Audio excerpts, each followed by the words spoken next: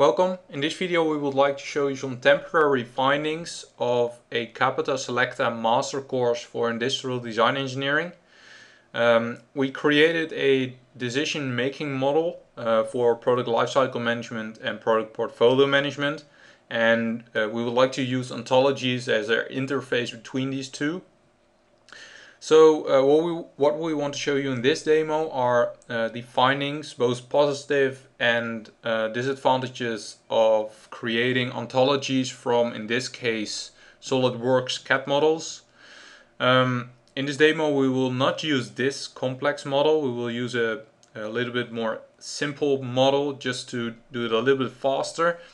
Um, so what we will do is firstly use assembly. Uh, we will convert this uh, in a step model and with a translator we will create a XML file. Uh, the XML file we will import in Protege and export a OWL file which we can use in Gephi as a network. So first of all I'm going to open the uh, assembly file. In this case it is quite an easy uh, simple file just a few cubes and uh, I just added some features such as thin walls and holes and chamfer and fillets. And what I'm gonna do is create a step file from this assembly. In this case I want to create a step AP214 um, because I can use this within my converter. Um, furthermore I want to uh, use a STP file uh, because a step file um, is not recognized at my translator. So this, when this is exported, I can close the window and open my translator. So in my translator, I can just open uh, the assembly file and I want to create an XML file.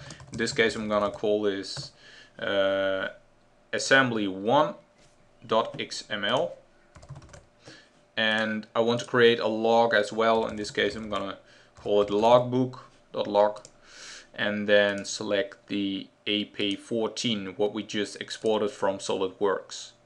Um, then run. So uh, what is good to mention is there are differences between the CAD systems. Even the AP14 is different between, for example, SolidWorks and Solid Edge. Uh, so if you're going to use that, make sure um, that you pay attention to that. So then uh, the model is converted and I'm gonna open in this case Protege. Uh, make sure to use Protege 3.5 because you can add a XML tab within this Protege version. Um, to do this I'm gonna create of course is an, uh, first a new file, in this case OWL RDF just next, next, and uh, in this case I'm gonna use the OWL full, then next and finish. Um, so what I have to do then is go to the uh, OWL tab at the top and just wait a second before it's loaded. And then I go to preferences and at the tabs I can select in this case XML tab. If it's not there, make sure you install the plugin first. At the XML tab, I can browse to the uh, XML folder, uh, XML file, and in this case the assembly one, and I'm gonna import it. And what we will see is that Protege will create several classes, and uh, between these classes there are relations as well. So we'll show the, you this in a moment when it is loaded.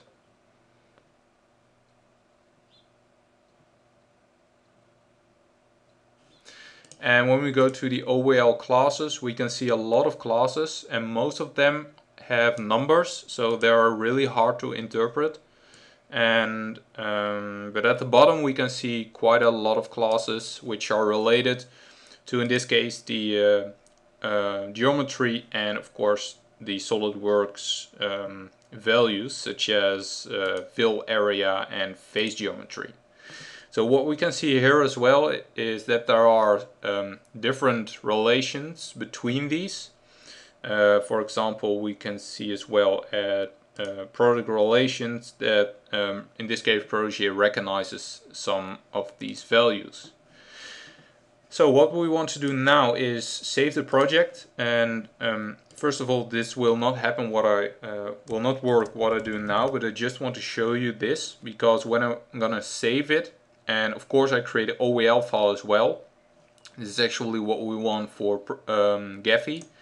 Uh, and when I want to export it, I get a error in this case because of there's an exception class at a Jena shared exception. So this is related to some uh, Java language, what I found.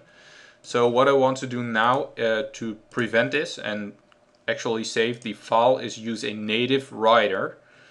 And when I do this, I can save the project again. In this case, of course, in the same folder. And I have to give it a name, in this case project one. And when I click OK, Protege starts um, saving this. So this will take a short moment and I will come back to you when it's finished. Okay, Protege is finished and um, what is worth to mention is in the folder we can find a OWL file of our project and um, when you take a look at the size it is really large, it's almost 200 MB. Uh, so you can actually not open it just right now. What you can do, uh, just to take a look at the code itself, is uh, upload it to a, a, web domain and then you can observe the code. So I will show you an example of one of the codes what we actually found. In this case I go to the website where it is on. And you have to wait for a moment because it will take quite a while to load. So in the meantime I start Gephi. And in Gephi I can import the OWL file. And I'm going to use the semantic web import to do this.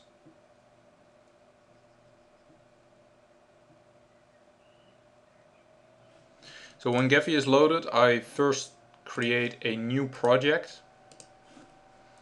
And uh, when that's done, I go to the semantic web import, click on add, and in this case browse to the folder with the OWL file.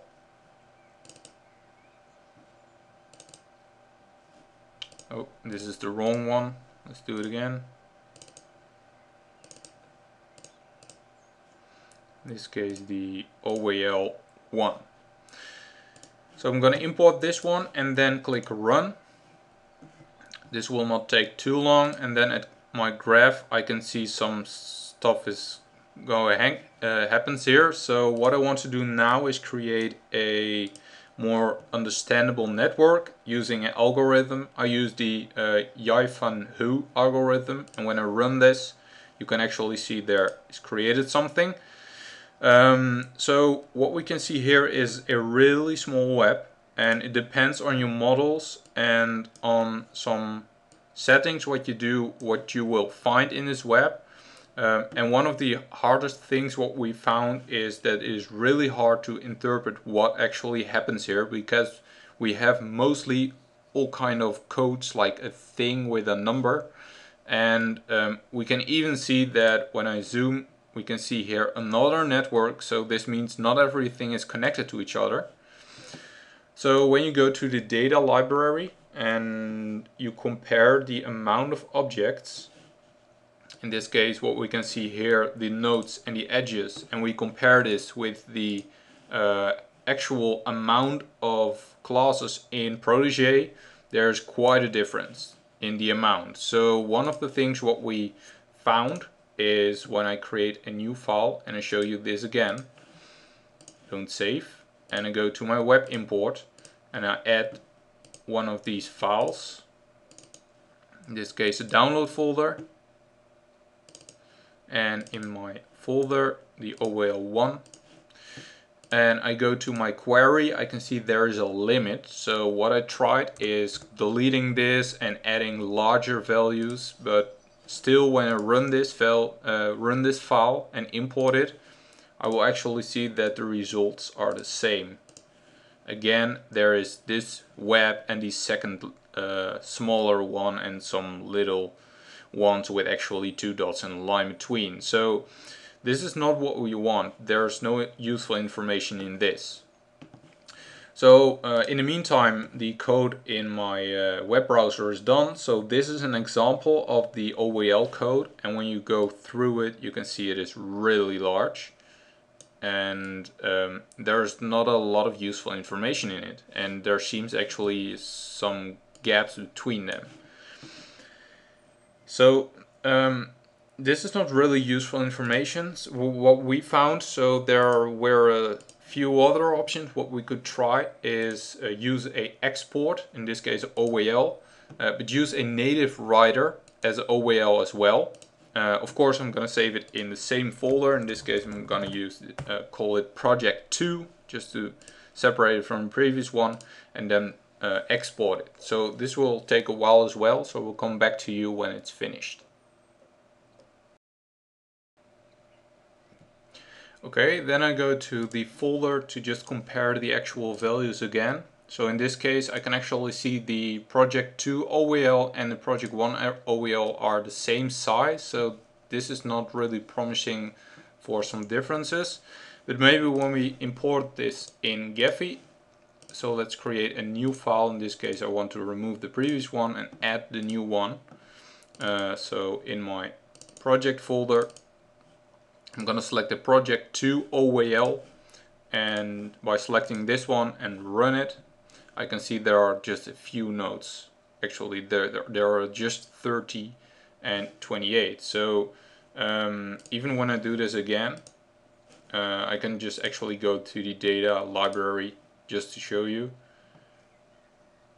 there are just a few nodes so even in the graph we will not see something very special again um, I will just complete it to just show you the results. Again, there's the same graph, nothing new. Uh, so what I can try again is uh, go to the import again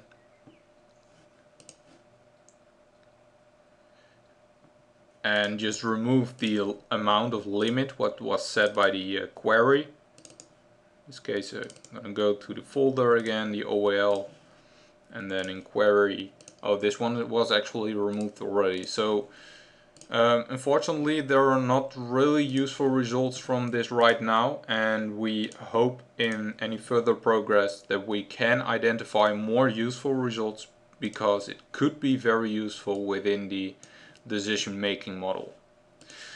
So in this video we showed you uh, the findings of our uh, assignment for a master course and uh, thank you for watching and see you next update.